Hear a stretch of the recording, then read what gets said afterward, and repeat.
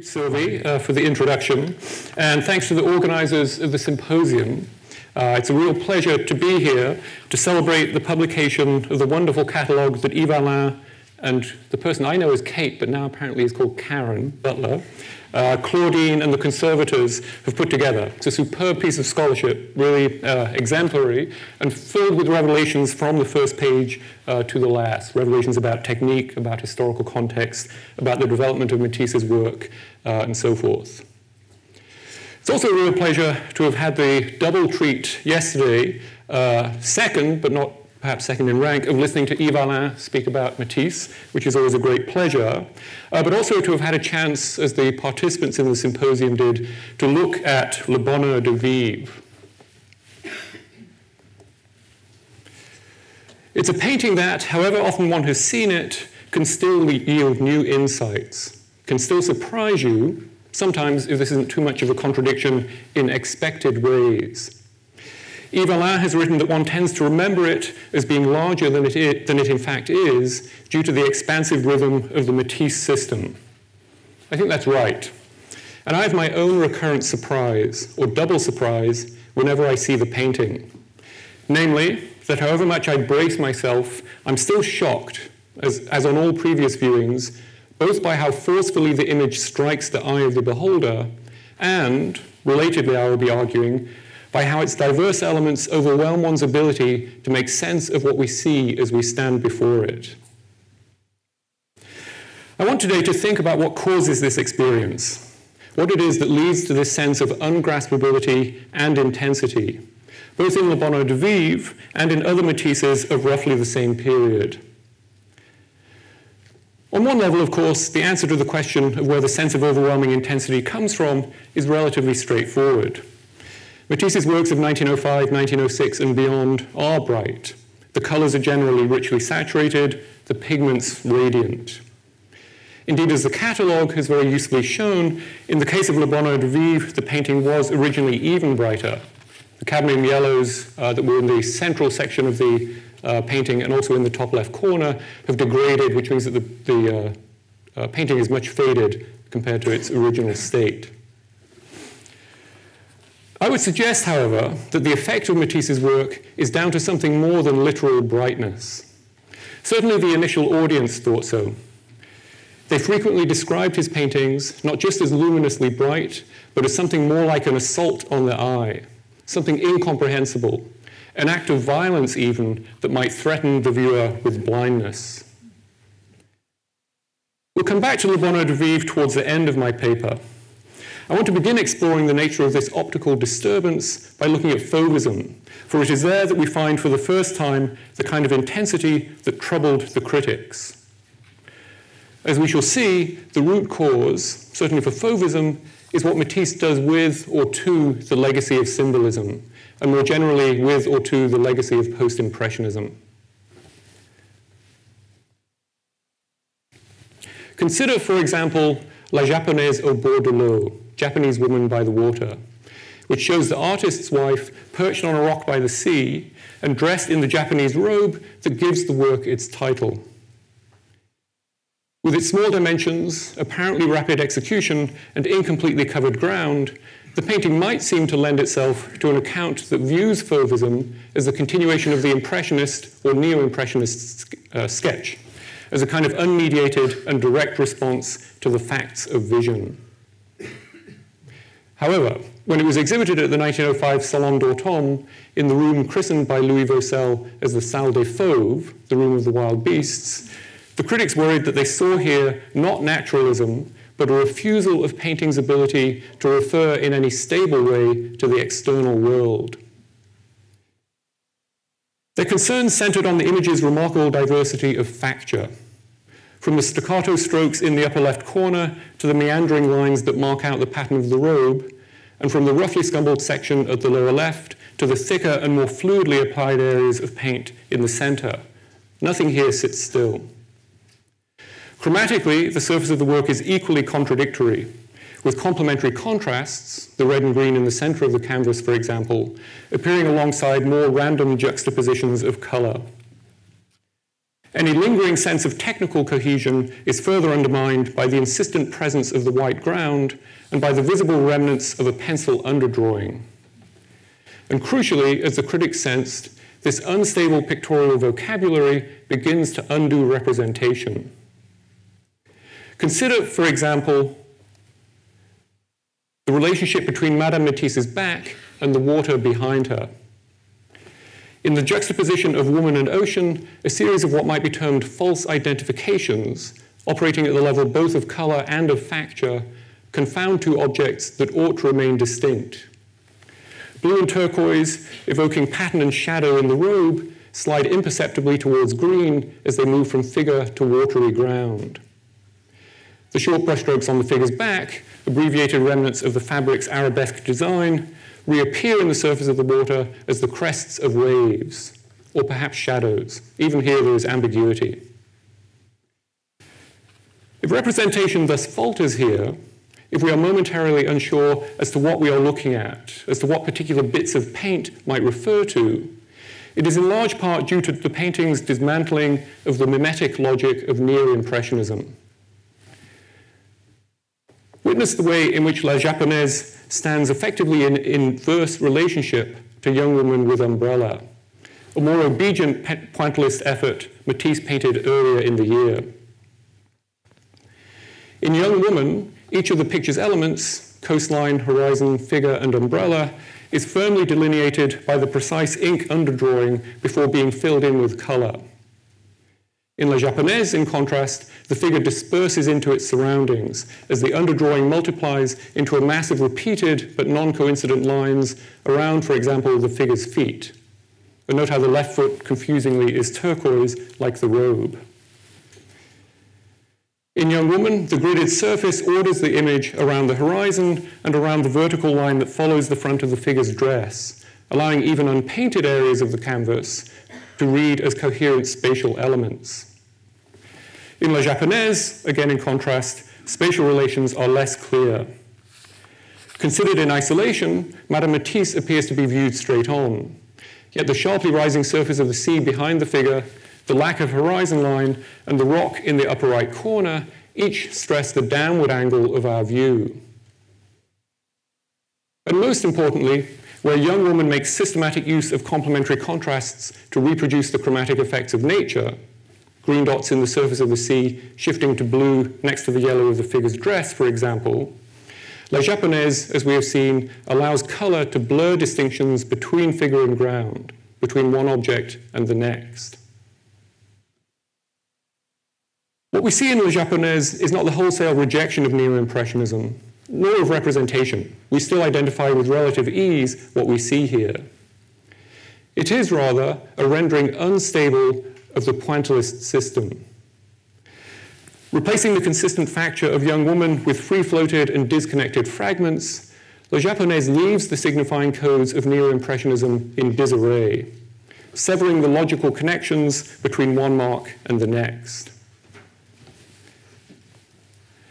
A similar disruption of representation, of the ability of painting to refer in stable and coherent fashion to the appearance of the external world, is to be found in Standing Figure, painted a year or so after Le Japonaise and now here in the Barnes collection. The paint, as was increasingly Matisse's practice, is applied in somewhat broader areas.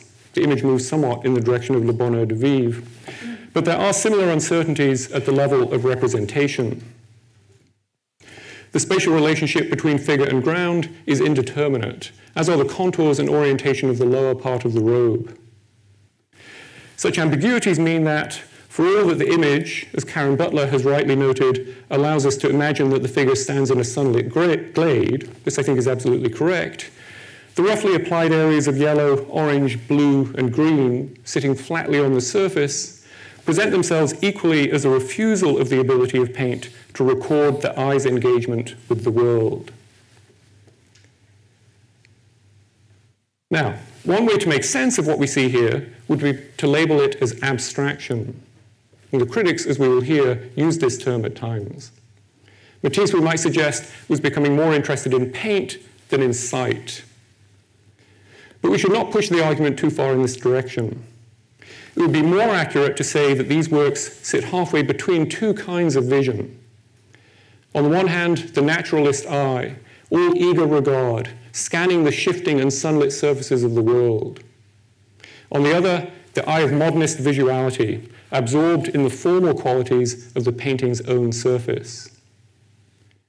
The works bear witness, that is to say, to the dismantling but not the banishment of the tools of representation, which begin to be reduced to a disconnected residue, mere shards of a broader mimetic syntax.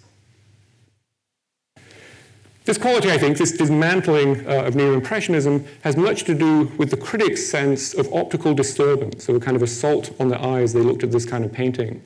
I want you to park that, that question just for a moment uh, and look at another dismantling, uh, another kind of dismantling that takes place in Fauvism. If Le Japonais put neo-impressionism to the sword, undoing its logic, rendering its representational devices incoherent, much the same can be said of what Matisse's Fauve portraits did to another variant of post-impressionist painting, namely symbolism. Here the best example is Woman in a Hat, perhaps the most famous or infamous of the paintings exhibited in the Salle des Fauves. It was quickly singled out as one of the more deranged entries in the exhibition, with the critics re resorting repeatedly to a vocabulary of the insane, the aggravating, and the violent. Presumably, at least in part, because of the painting's roughly and inconsistently worked surface and its rather brutal indication of form. The figure's left hand, for example, is crudely rendered by a few sparse strokes of a too dry brush, whilst Madame Matisse's fan, the sitter is again the, uh, the artist's wife, is composed of thickly glutinous dabs of paint whose sticky viscosity contradicts the treatment of the hand that holds it and makes difficult, nigh on impossible in fact, to picture what the fan might actually have looked like. Over to the right, the scabrous paint layer stammers into incompletion, allowing the schematically penciled indications of a preliminary design to show through. The hat, in turn, while not as thickly painted as the fan, seems equally ill-equipped to convey information about the nature of Madame Matisse's accessories. A dab here, a dab there, adding up to, not, to nothing much of anything, an imprecise mass balanced improbably atop her head. The difficulty of identifying all the details of what we see here led the critics to talk not only of violence, but also, as I uh, mentioned a moment ago, of the abstract. The anonymous critic for the Daily Le Matin, for example, worried that Matisse's paintings were a bit too abstract. The tone is seductive, but the subject remains confused, and the eye remains disquieted. That link, I think, is important. For this critic, at least, the abstract, the difficulty of making sense of what we see here, went hand in hand with the feeling that the painting caused problems for the eye. He or she was turning out quick reviews for a daily paper and had neither the time nor, in all likelihood, the inclination to expand upon this observation. It was left to other more significant writers to try to tease out the link between the abstract and the violent writers such as the painter and art theorist Maurice Denis.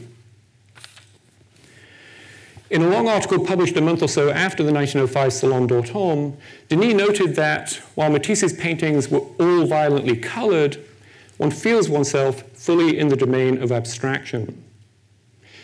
He then fleshed out this insight in a passage that's worth quoting at some length. Without doubt, this is Denis, without doubt, as with the most ardent ravings of Van Gogh, something remains of the initial emotion of nature. But what one finds above all is the artificial. Not the literary artificial, as would be the case with an idealist search for expression, nor the decorative artificial, such as Turkish and Persian carpet makers have imagined it. No, it is something still more abstract. It is painting outside all contingency painting in itself, the pure act of painting. Denis' invocation of the pure act of painting makes it sound for a moment as though he wishes to propose a strictly formalist account of Matisse's work. But that's not quite what he was driving at. the introduction of the term expression and the name of Van Gogh alongside mention of the artificial and the abstract signals that something else was at stake. Van Gogh was valorized by Denis, though not without some reservations, precisely as a powerfully expressive painter, one who was engaged with his fellow symbolists in what Denis referred to here as the idealist search for expression. And it is against this that Denis positions Matisse's abstraction. Something of the kind of expression that one saw in Van Gogh remains. This is not pure abstraction, it's not a colored carpet, but the emotion is attenuated. Unpacking exactly what Denis was driving at is not easy, in part because in the rest of his article, he co-opts this observation about Matisse for an argument that is very much about Denis' own obsessions, the importance of sensibility and of grounding oneself in the national tradition. But what he gestured towards with his initial insight, linking but also differentiating Matisse and Van Gogh, was, I would venture, that Matisse's paintings recalled certain aspects of the Dutch master's work and more broadly of symbolism apparently expressive brushwork, apparently expressive color, but that it operated according to a very different set of rules. In a Van Gogh, non-naturalistic color and agitated brushwork would have had stable meaning. To take a rather obvious example, in this self-portrait, the swirling brushwork and blue color range rhyme with the mournful facial expression to convey the idea of the suffering artist.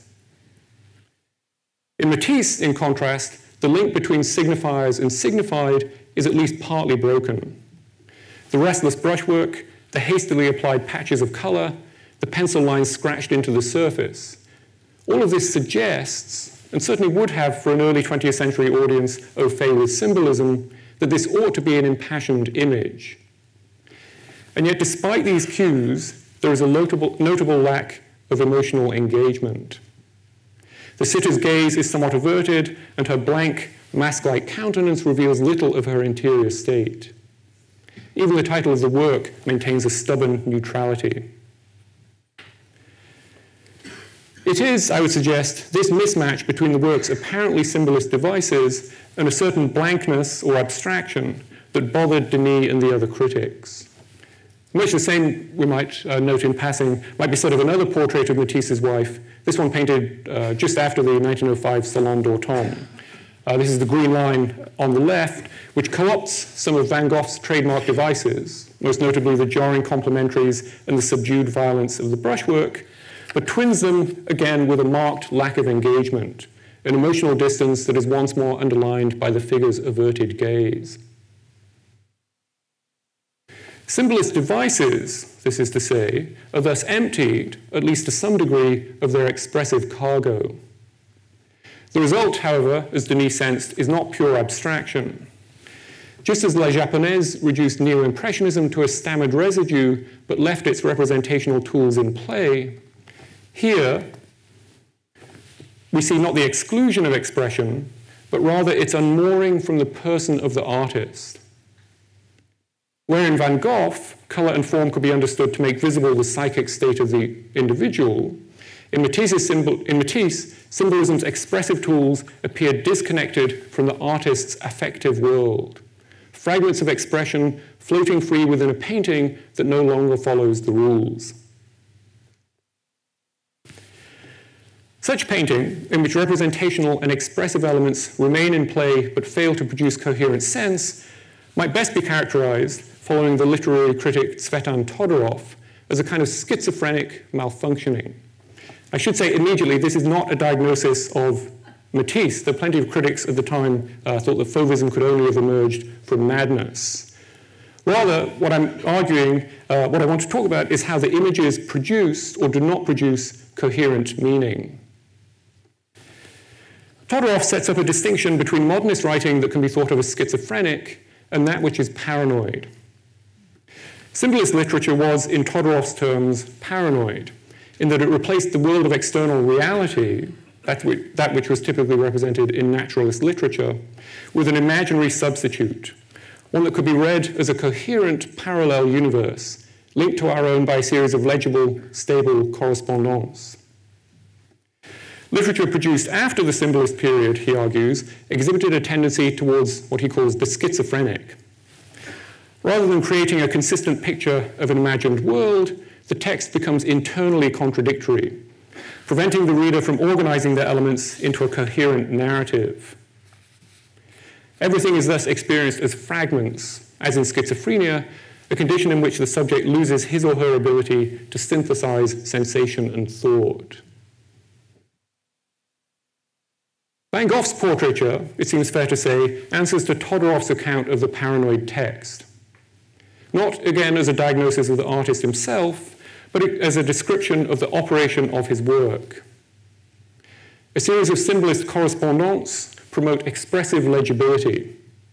What he shows does not look quite like the world, but it expresses clearly the artist's emotional universe. Fauvism, in contrast, is rather more like the schizophrenic text. The tools of representation and of expression are present, but fail to add up to coherent communication. Here we might note that André Gide, like Denis, a perceptive observer of contemporary painting, wrote, when faced with Woman in a Hat, how far from the lyrical excesses of a Van Gogh, before adding, art cannot do without syntax. It's the failure of the pictorial signs to work together, the lack of syntax, as, as Gide had it, that renders Fauvism incoherent.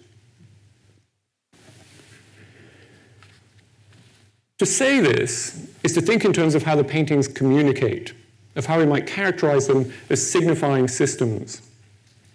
But we can also ask, and certainly this was the pressing question for the initial audience, what it is like to look at such paintings.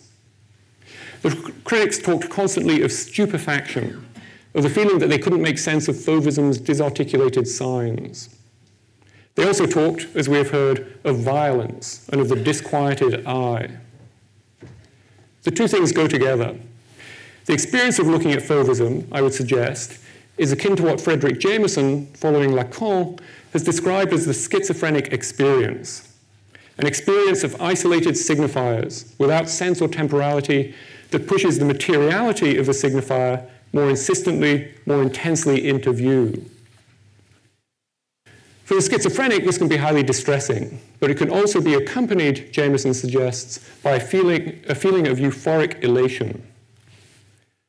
Rather than being processed, rather than being folded into a coherent image of the world, sense data are experienced as it were raw, experienced in all their irreducibly forceful and concentrated presence. Something similar, I am suggesting, happens with Fauvism.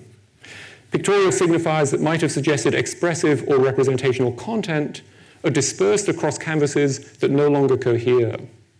A short circuiting of meaning that collapses our attention onto the surface, that allows us, that forces us, to experience the formal properties of the image, and in particular its color, in undiluted intensity. We are not, of course, any more than Matisse was as he painted, mad when we look at Fauvism. But our senses, or better, our ability to make sense, to understand what our eye beholds, is deranged, derailed, derooted.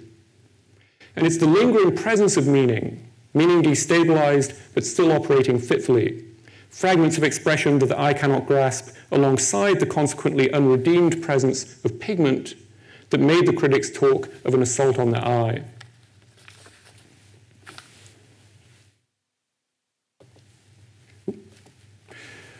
What then of Le Bonheur de Vivre?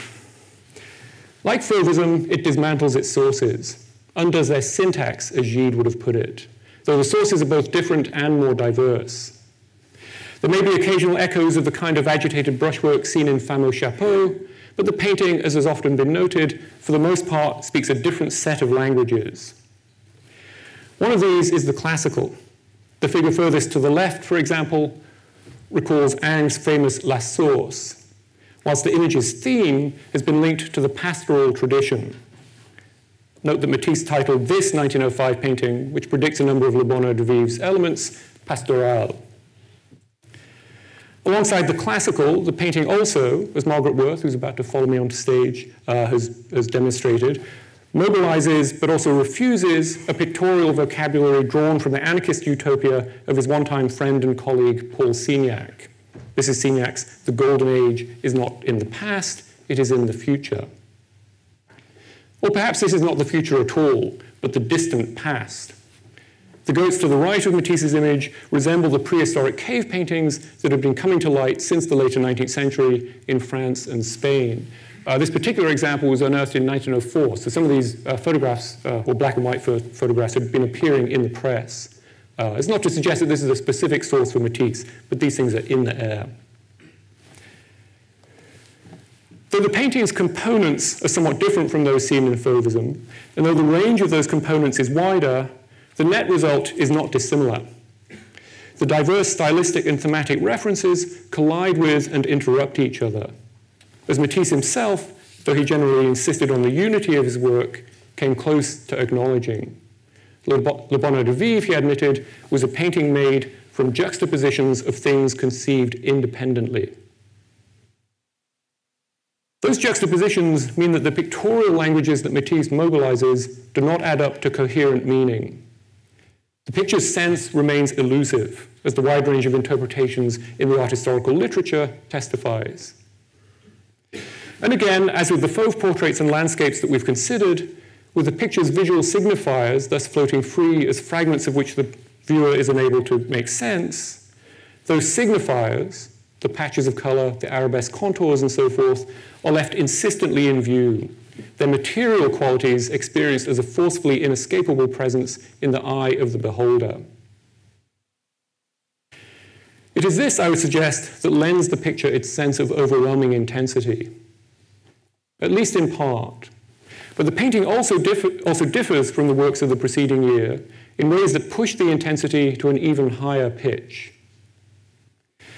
The first of these is the way in which this quality is allied with a theme that, for all its indeterminacy, itself speaks of euphoria, or at the very least of idyllic pleasure. The pastoral and the idea of the anarchist utopia both suggest something of this. Perhaps the echoes of a prehistoric past also bespeak an archaic Arcadia. And so too does a further source for the painting. When the picture was shown at the 1906 Salon des Indépendants, the critics were quick to name Gauguin as a component in the picture's complex genealogy. And I think they were probably right. Where do we come from? What are we? Where are we going? This is the Gauguin on the right, is one likely precedent. Its pale gold upper corners and its array of ambiguous human and animal figures set against an expanse of water has always seemed to me one of the possible inspirations for, for Matisse's picture. Mahana no Atua is another. Gauguin's paintings tend, of course, to be rather clearer, rather more univocal in their meaning. Mahana no Atua, for example, uses sensuous color and arabesque contours as rather straightforward symbolist correspondence for the idea of Tahiti as tropical idyll. But it is that idea of the idyll that Matisse picks up and reconfigures in Le Bonheur de Vivre. Thus, whereas in the Fauve portraits, the critics sensed a disjunction between the image's expressive intensity and the blankness of the sitter, now the experience of hallucinatory intensity generated by the painting's shards of meaning and expression is brought into sync with the overall theme of the painting, with the idea that, for all its ambiguities, sits at the heart of the image, namely sensuous pleasure. The second big difference between Le Bonheur de Vivre and Fauvism is the fact that, for all its fractured meanings, for all its diverse sources, the painting is in the final, uh, in the final account, as Yve-Alain has compellingly argued, tightly suited, possessed of a unity not seen before in Matisse's work. This, as Yve-Alain again has argued, imposes on the beholder a further form of blindness, an absent-minded peripheral gaze, scattered to the edges of the picture, an eye that loses its way, unable to focus. If then, as I've been arguing, we are in part asked to look with a schizophrenic eye, with Le Bonheur de Vivre, another kind of vision joins the fray. This look revolves around desire, around the feeling of a sensual immersion in the expansive circulation in the taut rhythms of the painting's surface. And it is this, finally, that lends the painting its overwhelming and concentrated visual force.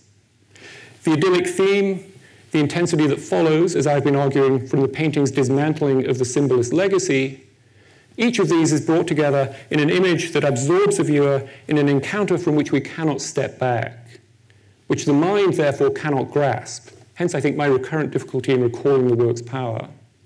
And that can only really be experienced in the flesh, standing before, immersed within the painting's possessive pictorial logic. Thank you.